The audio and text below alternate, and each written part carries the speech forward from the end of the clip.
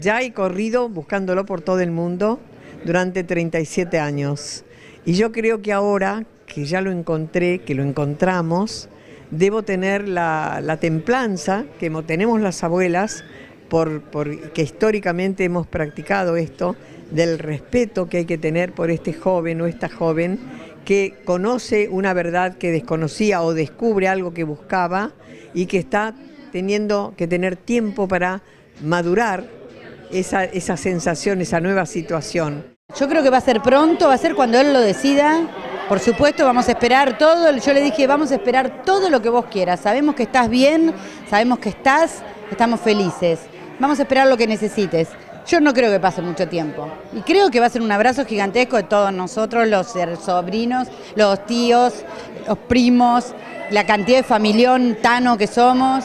Este, va a estar buenísimo y creo que, que, bueno, que hace tanto que lo estamos esperando todos, que para nosotros es, es uno más que siempre estuvo entre nosotros. Siempre.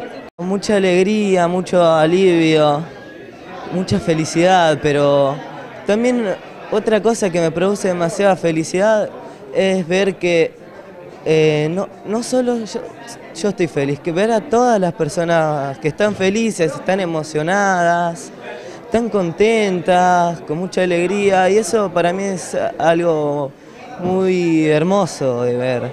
Ver a tanta gente reunida eh, y felices por haber encontrado a uno más. Yo me entero a través de estas cortas relaciones y relatos que estoy recibiendo de eh, su vida, eh, allá en, donde él reside, de que se acercó a Música por la Identidad y él formó parte de un concierto.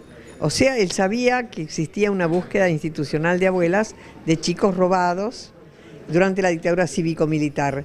Pero también parece que conversó con alguno de nuestros nietos, quizá les hizo algunas preguntas que no les habrán llamado la atención, pero llegó un momento en que se ve que sintió la necesidad de venir a nuestra institución, de hecho lo hizo, fue recibido, escuchado y recopilado y luego, como es rutina, para que no exista un juicio prematuro y también molesto, si se quiere, se pasa a la CONADI, que es el Estado, que también toma la declaración, registra y le consigue un turno para sacarse sangre en el banco de datos genéticos. Más allá de que sea un nieto más, me parece que, que nada, que es, que es, que es la, la consagración de, un sueño o de muchos sueños en uno. Eh. Y bueno, nada, feliz también por, principalmente por, por mi abuela, porque nosotros sabíamos que lo íbamos a encontrar, pero teníamos el secreto temor de que ella no lo pudiera ver y no lo pudiera conocer. Y eso es un alivio gigante para nosotros, saber que ella lo,